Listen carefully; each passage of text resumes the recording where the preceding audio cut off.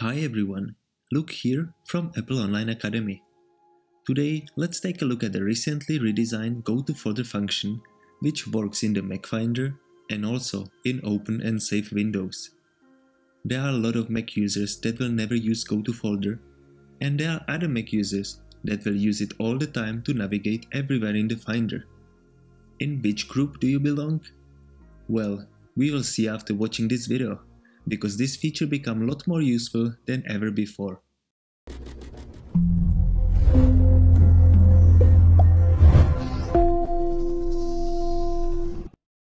The go-to folder function isn't new at all, but it got changed from the scratch in macOS Monterey.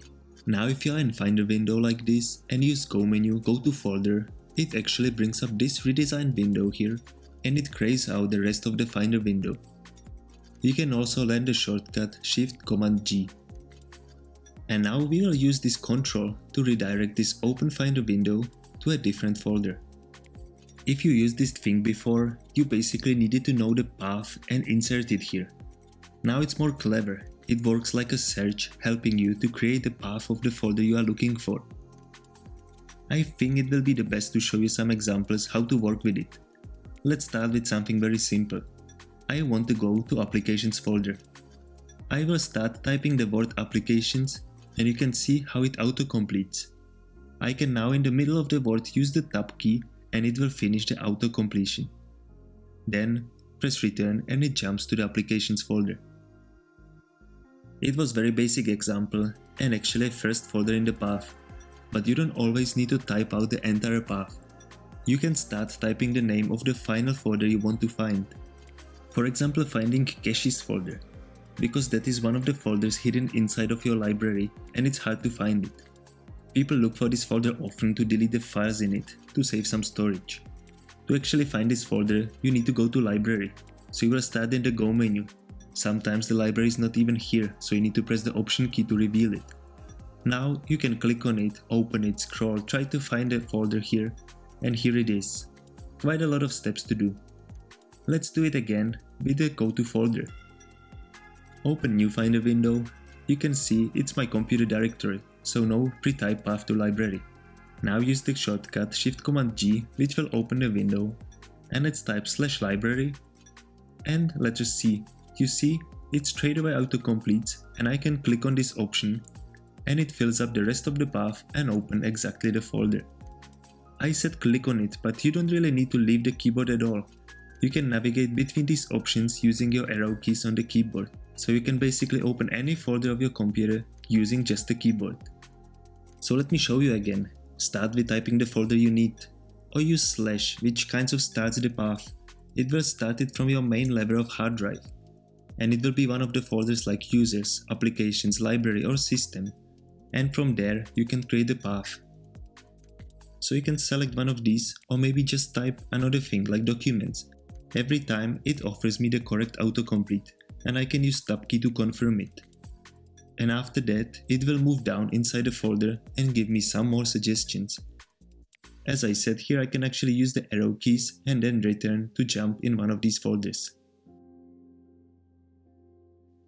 Now let's see some more interesting examples which you can actually search using this.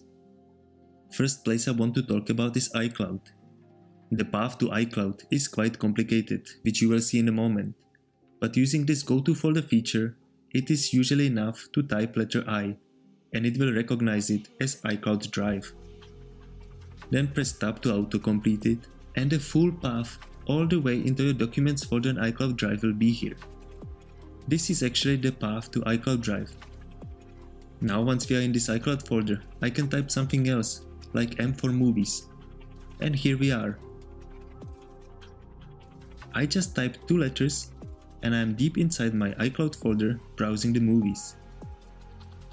Another cool thing that GoTo folder does is to search for tags. Notice here on the left I have some created tags called project A or B. These are the files in it.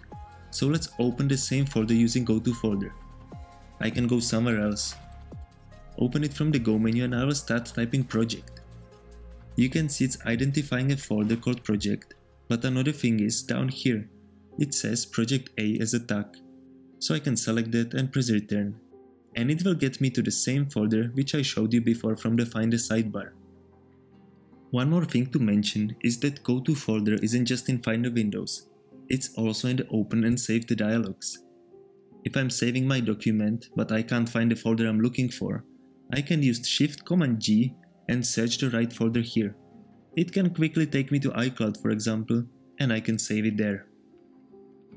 So it is a very useful tool, especially if you like to keep your hands on the keyboard and try to minimize mouse and trackpad use.